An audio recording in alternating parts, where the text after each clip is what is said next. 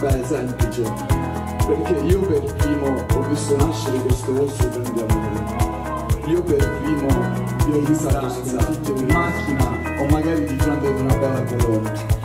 Così come ricordo ogni parola scambiata per Rosanna sul terrazzino del Santa Monica, quando il cuore mi era deciso. Bellissimo applauso! E adesso